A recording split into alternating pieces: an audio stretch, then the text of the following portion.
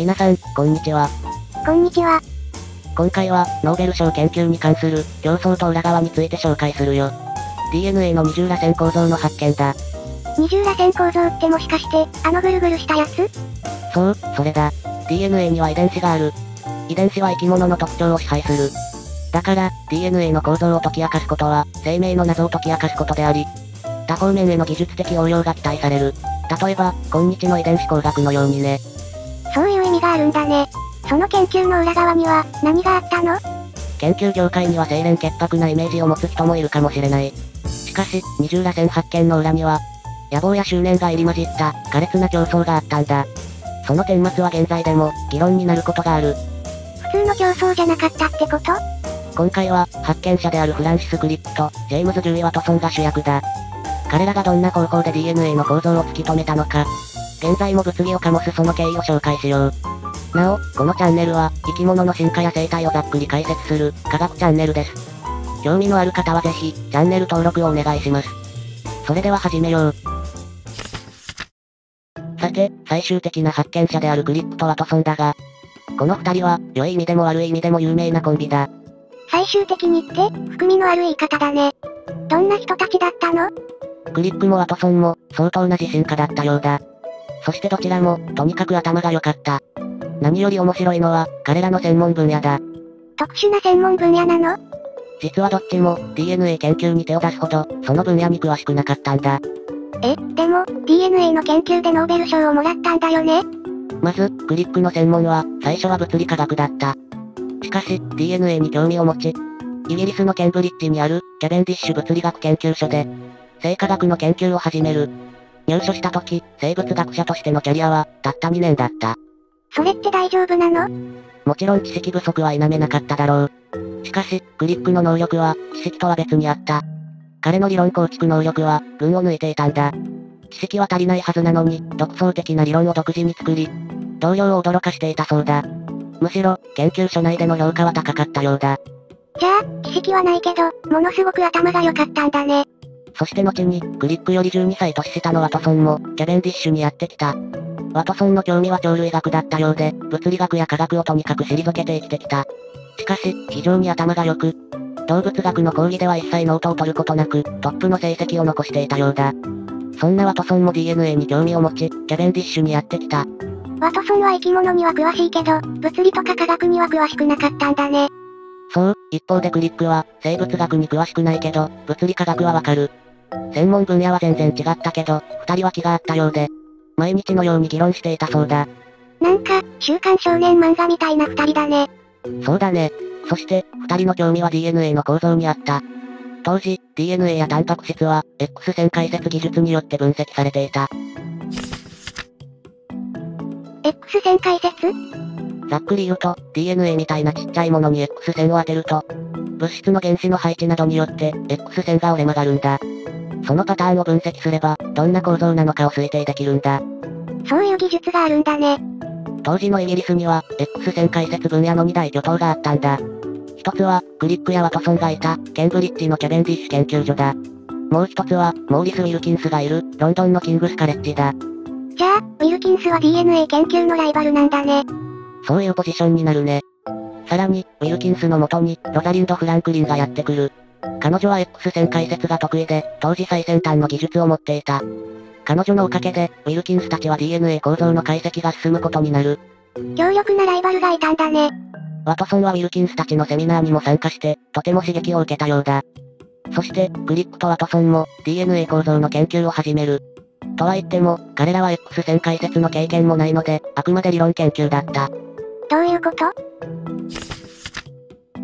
こんな感じの模型を見たことはないかな？何これ？これは分子模型といって、複雑な物質の構造を視覚化する際に使われるものだ。ウィルキンスとフランクリンは、実際に X 線解説で写真を撮ることで、そこから DNA 構造に迫ろうとしていた。データを積み上げて理論を導く、機能法だ。それに対してクリックとワトソンは、先に理論で DNA 構造を作り、理論がデータに矛盾しないか確かめるという、機能法とは逆のやり方を試した。これを、演疫法というよ。クリックとワトソンは分子模型で、先に理論を作り始めたってこと？そう、二人は分子モデルを作り始めた。しかし、すぐに問題が出てきた。早速問題が出てきたの？ワトソンはセミナーに参加したが、ウィルキンスたちの話をあんまり理解してなかったんだ。ええ？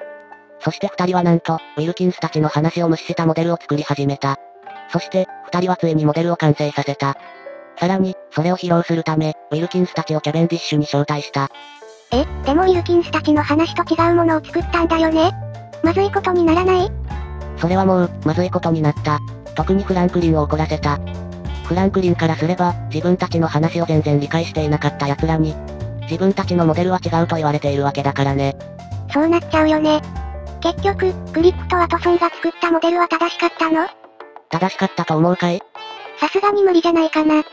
そう、いくら頭が良くても、知識と経験は無視できない。彼らが作ったのは、30螺旋構造で、塩基が外側に飛び出したモデルだった。本当は二重螺旋構造で、塩基同士が内側でくっついてるよね。クリップとワトソンはこの日、たくさんの矛盾点を指摘され、ボコボコにされてしまった。やっぱり専門知識がないとダメなんだね。なお、発表後に、お客さんであるウィルキンスとフランクリンを交えて、食事会という名の地獄が催されたそうだ。いたたまれない。だが、これだけならまだいい。その時、恥をかくだけだ。問題はその後だった。この顛末は所長の耳にも入った。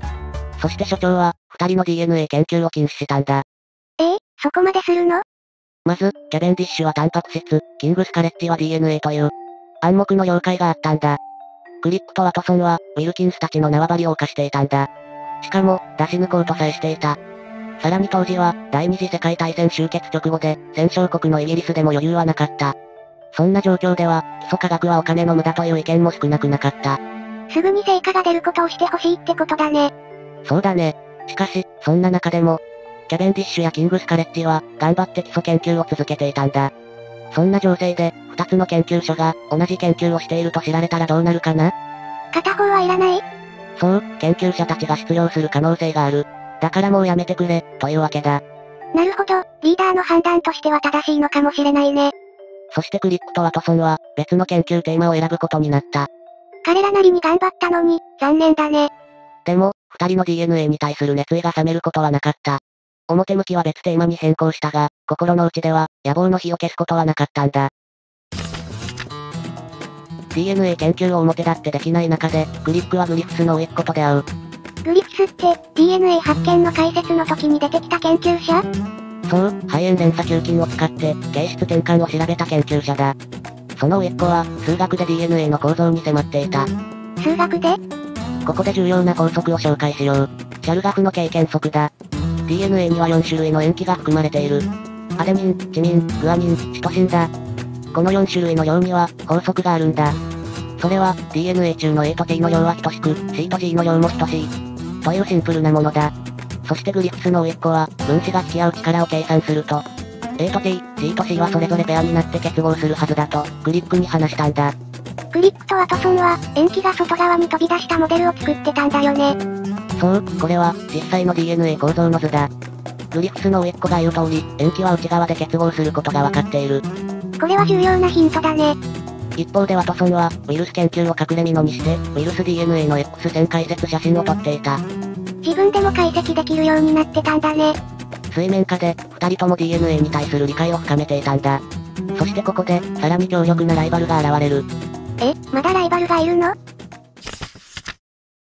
ライナス・ポーリングという、超一流の科学者だ。なんと、ノーベル賞を2回受賞している。加えて、生物進化を DNA から分析できる、分子時計を発見したことでも有名だ。本物の怪物だ。実はポーリングは、クリップとワトソンが研究を始める前から、DNA の構造について仮説を出していた。しかし、忙しかったのか、ちゃんと理論を詰めていなかったんだ。そのボーリングが動き出したの？そう、ポーリングは新たに、DNA の構造について論文を発表した。じゃあ、先を越されちゃったの？クリップとワトソンには衝撃的だっただろう。なぜなら、ポーリングが発表したモデルは、クリップとワトソンがウィルキンスたちに披露したモデルと、そっくりだったんだ。じゃあ、そのまま研究を続けていれば、クリップとワトソンが先に発表できたかもしれないんだね。そう、二人は敗北を悟ったことだろう。しかし、ポーリングの論文を読むうちに、ワトソンは気づいた。ポーリングがミスをしていたんだ。そうだったの？しかも、学生がやるような初歩的なミスがあったんだ。超一流にも、そんなミスがあるんだね。それに気づいたワトソンは、嬉しくなってしまった。よほど嬉しかったのか、謎の浮かれた行動をとる。なんと、嬉しさのあまり、わざわざウィルキンスに、それを教えに行ったんだ。無邪気だなちなみに、移動には丸1日かかるんだ。ただ、この浮かれた行動が、クリップとワトソンの運命を決定づける。ワトソンはウィルキンスを訪ねたが、あいにくの留守だったんだ。ワトソンはそのままの勢いで、フランクリンに、ボーリングの論文について、自分の見解を話した。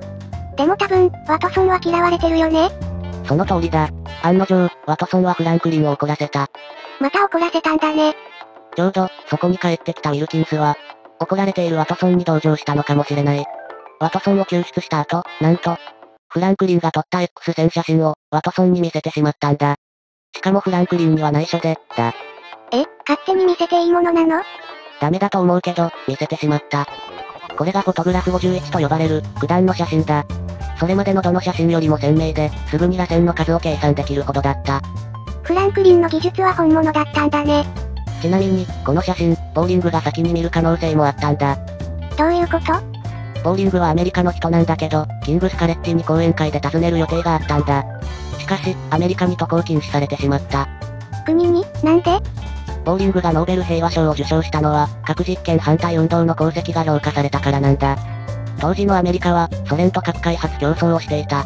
そんな中でボーリングがアメリカからヨーロッパ側へ渡ることは、西側への亡命の可能性があるとみなされたんだ。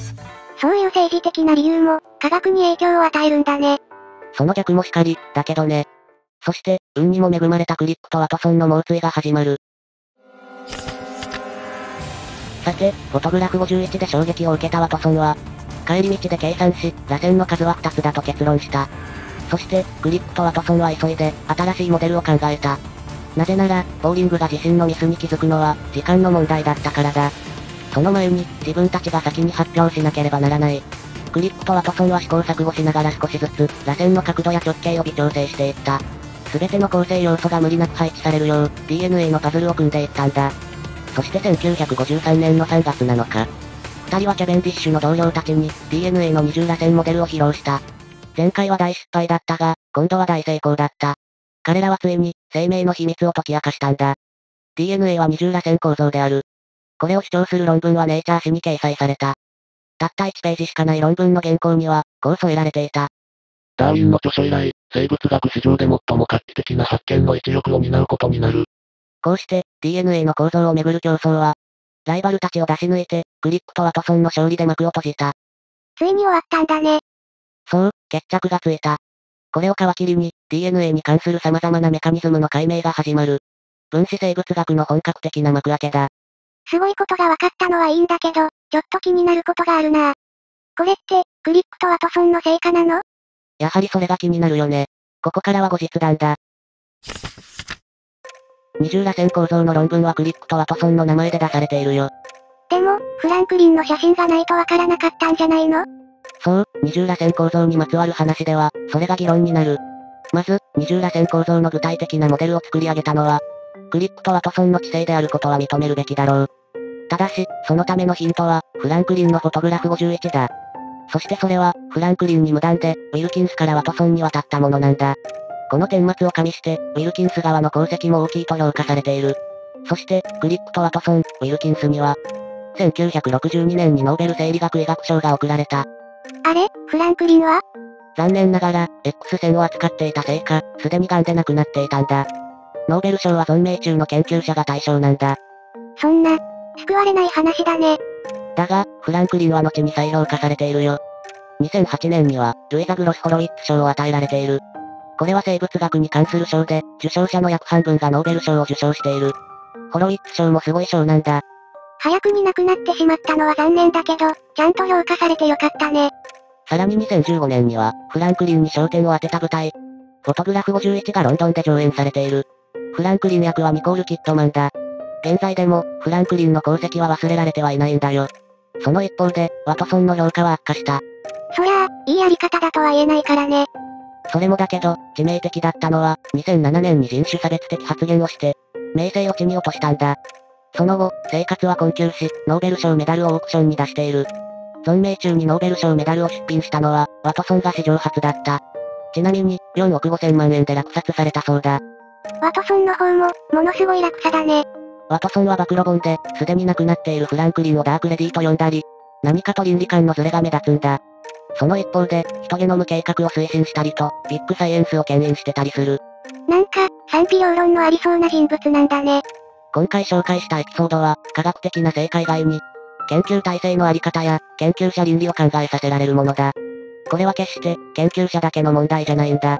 私たちの生活にも関わることなんだよ。研究者同士の問題が、なんで私たちの生活に関係するの？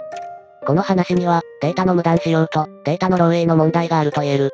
フランクリンの写真データを勝手に使ったのと、無断で写真を見せたことだね。研究者の世界では、未発表データを見てもらって、周囲から意見をもらったり、議論することは珍しくない。これによって、問題点が分かったり、共同研究につながったり、新しいアイディアが湧いたりするんだ。つまり、議論は科学技術の発展に欠かせない。そして、これができるのは、研究者同士に信頼関係があるからだ。だから、クリップとワトソンは、その信頼関係を破ったとも捉えることができる。うーん、難しい問題だね。必要なことだけど、それを利用されちゃう可能性もあるんだね。研究者同士の信頼関係が薄くなると、議論ができなくなる。それは、科学と技術の発展が、遅くなることを意味するんだ。科学と技術が担う役割が大きい現代では、多くの人がその恩恵を受けている。健全な研究体制とは何か、みんなで考える必要があるのかもね。さて、色々と考察は尽きないけど、いい時間なので終わるとしよう。今回は科学史がメインなので、まとめはないよ。視聴者の皆さん、ここまで、ご視聴ありがとうございました。ありがとうございました。面白いと思った方はぜひ、チャンネル登録高評価をお願いします。それでは、また次回、お会いしましょう。また見てね。